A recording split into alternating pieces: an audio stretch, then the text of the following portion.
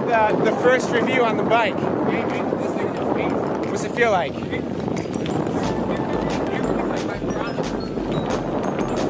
like a stiff road bike